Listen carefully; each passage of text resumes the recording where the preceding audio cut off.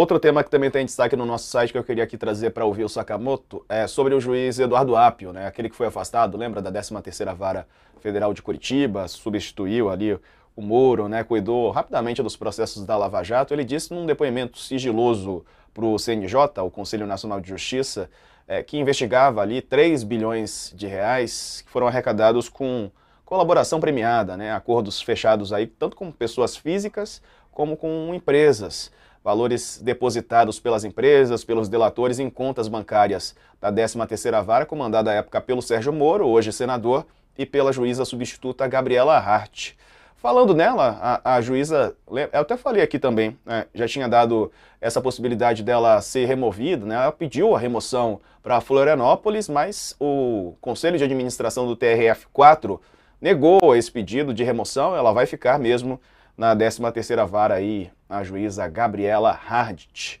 Bom, dois assuntos, Sakamoto, permanência dela e também essa denúncia, né, esse depoimento aí do Apio sobre a investigação que ele fazia de valores, né, bilionários de delações.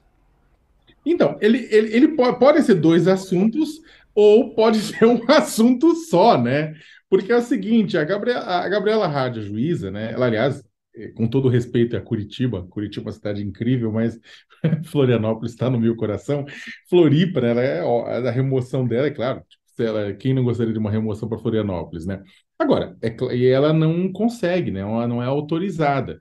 E é interessante, porque ela, ela fala, fique aí. Basicamente, você pode interpretar também isso, tipo, olha, você fica aí né, melhor, né, você cuida da casinha, da lojinha. E o que está acontecendo com a lojinha? O que está acontecendo com a 13ª Vara Federal de Curitiba? Isso que você trouxe na primeira notícia, né? O, o juiz Eduardo Apo, que foi afastado pelo Tribunal Regional Federal da Quarta Região do, do, do, do, do cargo de juiz na 13ª Vara, que é a vara da, da antiga Lava Jato, né? É, colocou, se lembra? Acho que o pessoal que está em casa lembra que é, discutiu-se que ele teria ah, feito uma ligação enganando o filho de um dos desembargadores, que por um acaso é genro e sócio de Moro. Olha que doideira né? E aí o que acontece é que é com isso uma gravação, olha, com base nessa gravação vai ser afastada e depois um perito apontou, inclusive um perito independente apontou que não, não era a voz do AP, o AP está tentando voltar, né? E aí o CNJ, Conselho Nacional de Justiça, mandou para investigar é, o AP, investigar o TRF4 porque tá uma balbúrdia, né? Tá uma doideira, né? Então, o que acontece, o, o, e essa doideira da questão do, do da, da, denúncia do AP é muito, muito, muito séria, né? Ou seja, o que ele está falando? Bilhões de reais que foram destinados, né, é, foram arrecadados em acordos de colaboração da Lava Jato por parte de empresas, 3 bilhões de reais, estariam, teriam desaparecido. Desaparecido no sentido, olha, foram, foram para estatais, foram para isso, para a justiça, mas está sendo usado para quem? Quem é que está usando? Quem, você viu para quem? Para que programa? Para combater a corrupção? Para melhorar a estrutura da justiça? Ou foi parar no bolso de alguém? O que, que aconteceu? Ele, ele diz ele que começou a investigar e que precisa e, e que é, não chegou a nenhuma informação e que enquanto ele estava investigando a conta estava em 600 milhões e caiu para 200 milhões e ainda e está muito esquisito.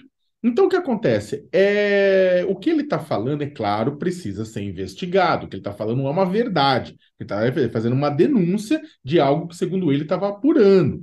Agora, se for verdade, é um escândalo sem precedentes é um escândalo até maior do que aquela quando Deltan Dallagnol e outras pessoas queriam pegar recursos também que é, serão destinados para Lava Jato para criar uma ONG para combater a corrupção, né? Não faz sentido. Isso é privatização de dinheiro público, pelo amor de Deus.